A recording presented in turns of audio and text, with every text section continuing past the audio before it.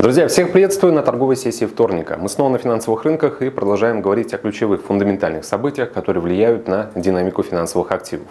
Не забывайте подписываться на наш YouTube канал Амаркет, оставляйте ваши вопросы в секции с комментариями и, конечно же, не забывайте ставить лайки.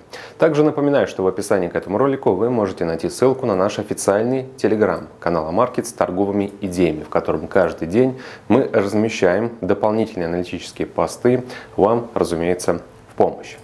Ну что ж, э, время тикает, 2022 год постепенно уходит, волатильность не очень-то и возрастает.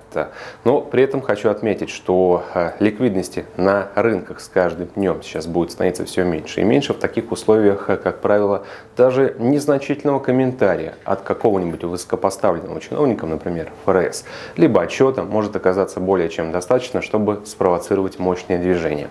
И к ним, друзья, вы должны быть готовы, поэтому контроль рисков, риск-менеджмент – это традиционно на вашей стороне. Я не рекомендую использовать э, загрузку по депозиту, если говорить в контексте плеча, больше, чем 1 к 10 по совокупности всех сделок.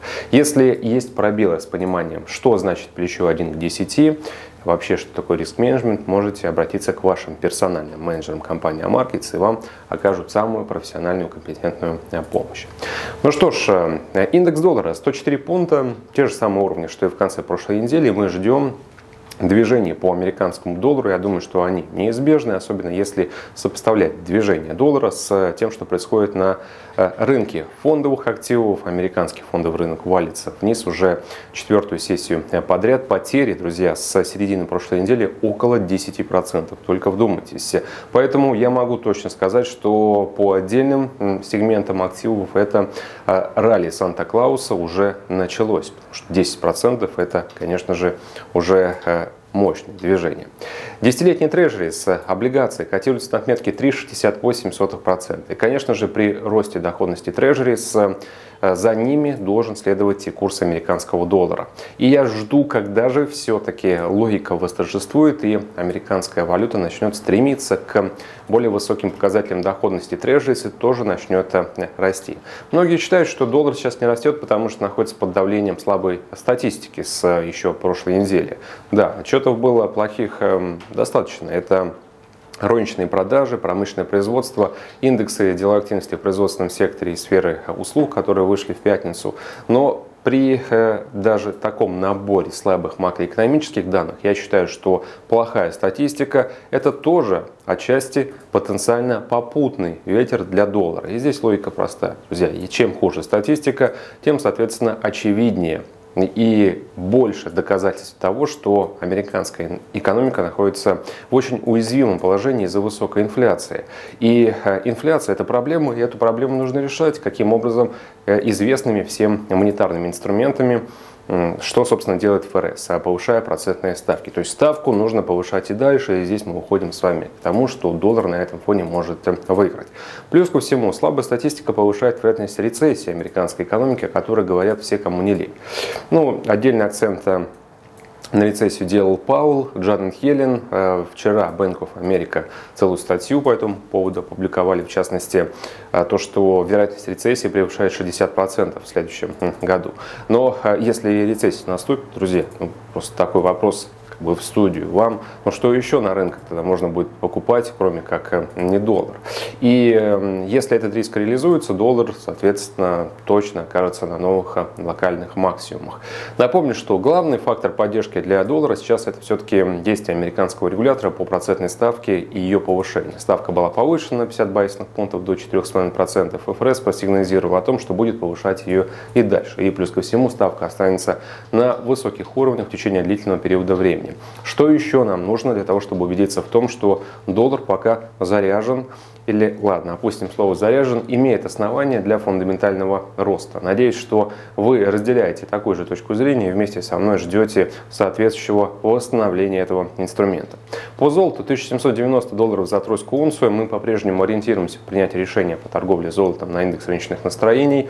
Сейчас индекс показывает, что толпа, а, а именно большинство трейдеров Золото шортит, покупает вот 38%, то есть э, меньше 50%, и это позитивный, опять же, э, сигнал для котировок, что может реализоваться развитие восходящего движения. Пока от лонгов не отказываемся, ждем еще большего роста э, выше 1800 долларов за тройскую унцию.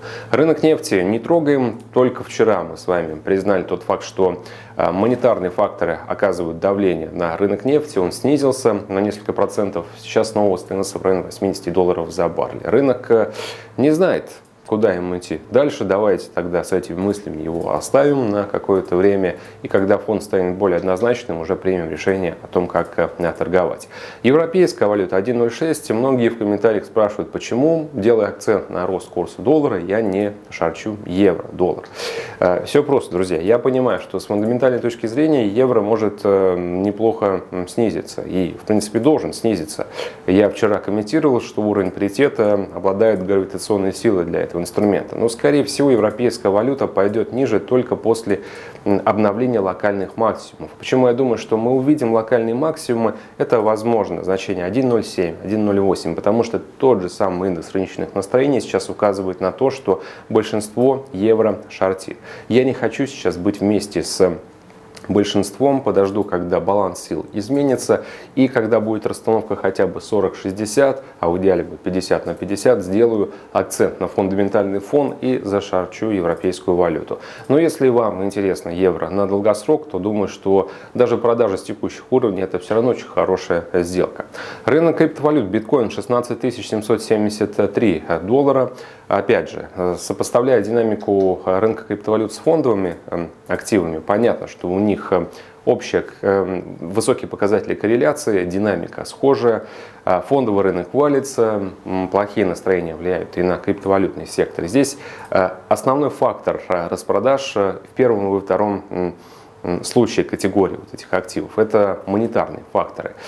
Э, буквально неделю назад, когда до заседания Федрезерва мы анализировали с вами данные по инфляции, напомню, что тогда, когда индекс потребительских цен снизился на протяжении второго месяца подряд, трейдеры отреагировали на это снижение активным ростом всего криптовалютного рынка, поскольку понадеялись на то, что снижение инфляции заставит американский регулятор смягчить монетарную политику. Но спустя сутки после этого случилось и произошло заседание ФРС, на котором американский регулятор не стал придерживаться мягкой риторики, а лишь повторил, что повышение ставки продолжится и дальше, потому что повышение ставки – это необходимый инструмент для борьбы с высокой инфляцией. Плюс ко всему Пауэлл повторил, что ставки останутся на высоких уровнях в течение длительного периода времени.